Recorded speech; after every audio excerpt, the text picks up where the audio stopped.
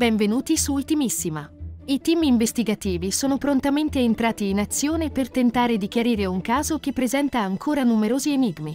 Un cruciale aggiornamento sul cellulare di Giovanna Pedretti, la ristoratrice che ha perso la vita presumibilmente per suicidio, è stato reso noto pochi istanti fa. Tutti i dettagli saranno esposti nel corso del video. Prima di cominciare ti invito ad iscriverti al canale e attivare la campanella per non perderti i nostri prossimi video. Un gesto semplice ma per noi molto importante. Grazie.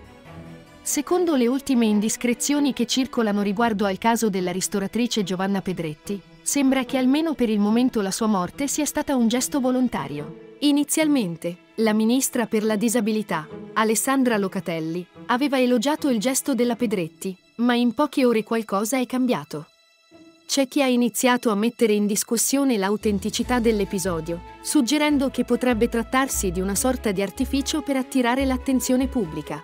In seguito, la donna avrebbe subito una serie di insulti e offese sui social media, una pressione mediatica che l'avrebbe colpita in modo eccessivo, spingendola a compiere il gesto estremo.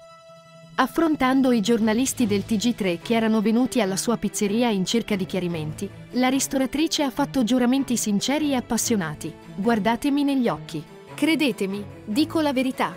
Chiamata anche dai carabinieri per essere interrogata in caserma riguardo a un episodio che poteva configurare il reato di istigazione all'odio, ha ribadito la sua versione.